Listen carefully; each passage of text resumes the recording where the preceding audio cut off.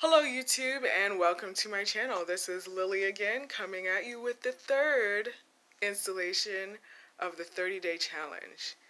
Thank you for following my vlog so far. I hope you enjoyed the last two videos and my disclaimer in the last in the most previous video. We're going to move forward and talk about another way that you can make quick money based off of the article I found online by Scott Alan Turner. And you can see the link to the article in the description box below.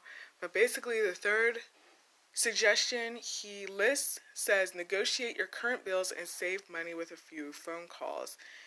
If you have insurance, cable, a cell phone, utility bills, or any recurring monthly charge, you can get more money today just by calling and negotiating with your current service providers.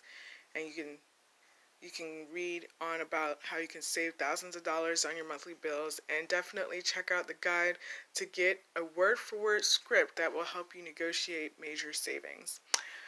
This I was pretty fortunate because a few years ago I attended a seminar and the presenter said, you know, in order to do a certain thing, you should probably secure lines of credit and, you know, well, I don't know if I should have included that in here, but basically, I wanted to build my credit score, and so I took out three credit cards altogether, and I did incur some some small debt, but thankfully, one of the credit card providers sent me a letter in the e- in a mail and said, you know, we know you owe this much, but we are willing to settle for this much if you can pay by this date or negotiate a payment plan to pay down your debt.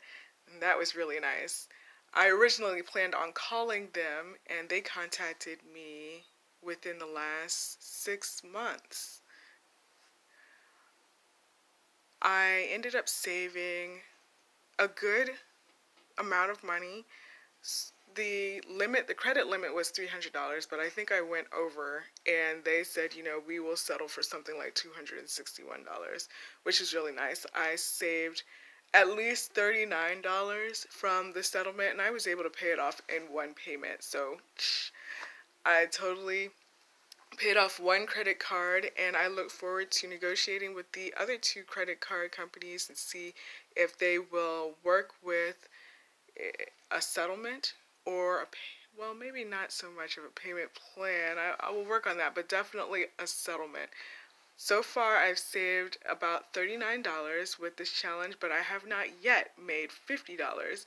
If you would like to continue following me, I would love to see that. You, if you can subscribe to my channel or give me a thumbs up if you liked this video.